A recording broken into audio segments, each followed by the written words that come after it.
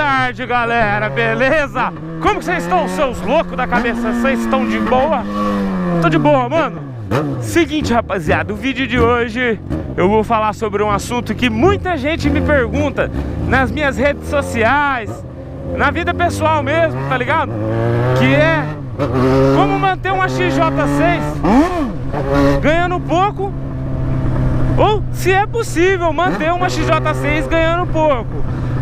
Tipo assim, o pouco que nós vai, que nós vai botar em cima da mesa aqui, mano, é coisa de mil a mil e quinhentos reais, que é o salário de muita gente, tá ligado? É, eu sei que muita gente não ganha nem mil reais, ganha salário mínimo e acaba, tipo assim, não se enquadrando, galera. Mas eu vou explicar tudo certinho, beleza? Não esqueça de me seguir no meu Snapchat e no meu Instagram, que tá aparecendo aqui no vídeo, beleza? Que eu ando passando bastante informação por lá, bastante mesmo, mano. Meu Snap mesmo tá virando quase um daily vlog, tá ligado? E tipo assim, vamos lá, vamos, vamos falar, vamos falar, tá ligado? Quando você pensa, mano, em manter uma XJ, primeiro de tudo, você tem que pensar, sua moto é, é consorciada? Financiada? Na maioria das situações é, infelizmente, né, mano? Porque no Brasil é tudo caro, nós não consegue pagar à vista, porque nós é pobre. Não é pobre, o bagulho é caro e fudeu. Não. E galera, geralmente é a parcela do XJ, o pessoal paga em torno de 300 a 600 reais que eu vejo. Então vamos supor, se você ganha 1.500 conto, tira quentão aí da parcela, você tem mil. 1.500 livre, né, mano? Você tem mil.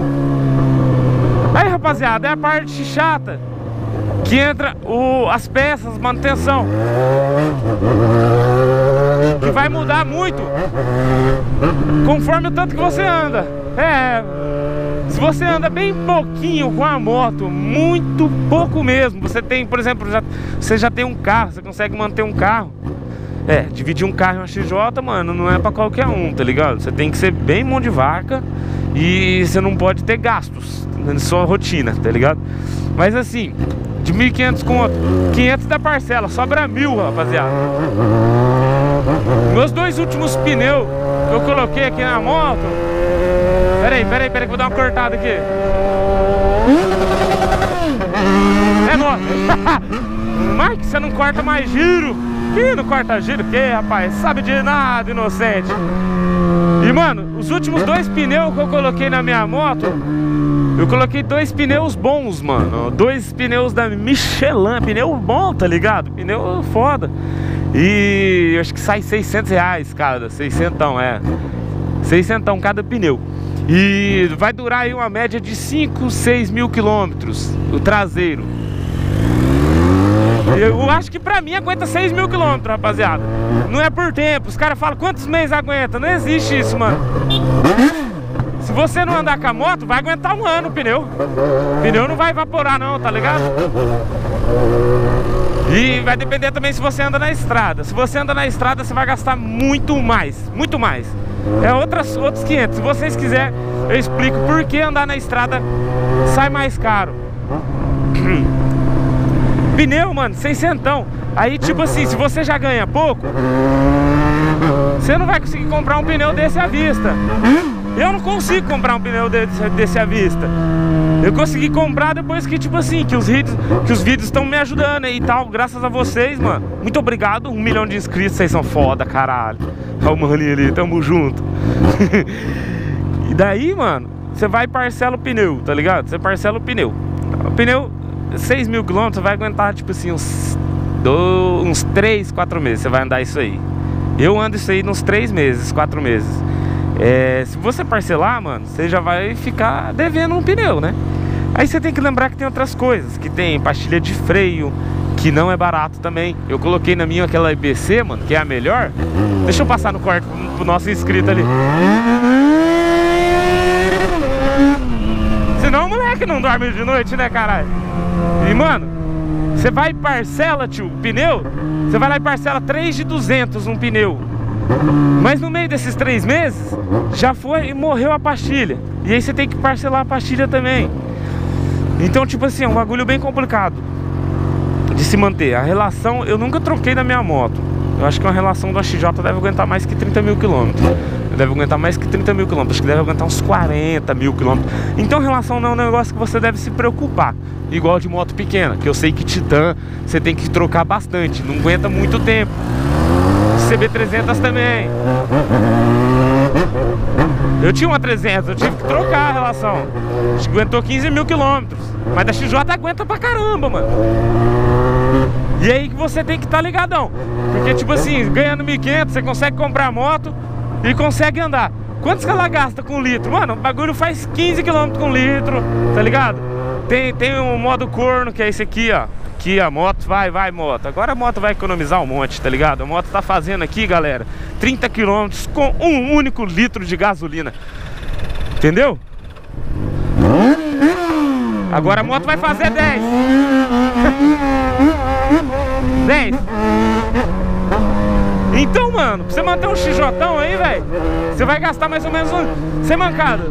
De custo, fora parcela dela, gasolina, óleo que você troca, óleo é 140 reais pra trocar o óleo dessa moto. Porque é 3 litros e é um, um óleo melhor, né, mano? Não é um, naqueles óleos de cozinha. Estão entendendo? Então, rapaziada, se você já paga quentão, você ganha 1.500, você já paga quentão de parcela e dos milão, você vai gastar uns 500 a 600 de manutenção por mês. Se você não pagar nada à vista, vai ser isso. Então, mano, dá pra manter sim, só que bem apertadinho, tá? E você tem que tomar muito cuidado com a moto, porque se você tiver que fazer as coisas, mano, aí fudeu, tio.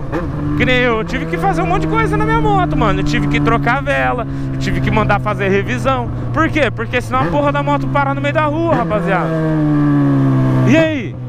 Parar no meio da rua, fudeu, tio. Você tá louco? Não pode, mano. Tem que, tem que arrumar, né? Vai comprar um motorzinho grande, gasta um pouquinho mais mesmo.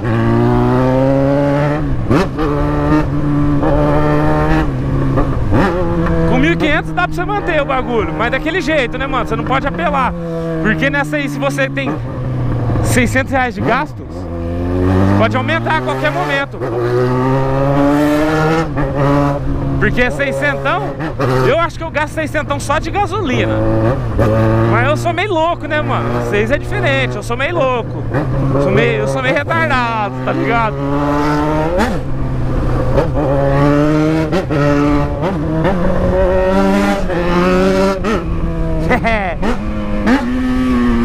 Você é louco, cachoeira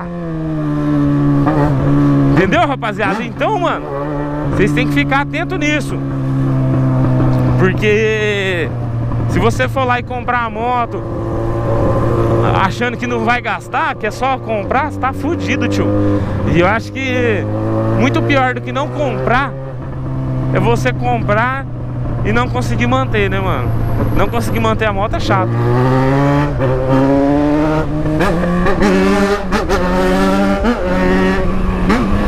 né, Vral? Xijotão!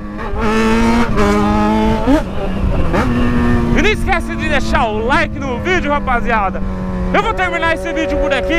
Muito obrigado a todo mundo que está acompanhando. amo todos vocês, mano. Vocês aí de Londrina, de São Paulo, de Salvador, do Rio de Janeiro, de Minas, de Goiânia. Espírito Santo, Alagoas, tudo canto, mano. Vocês são foda, tio. Vocês são foda. Vocês mudou minha vida.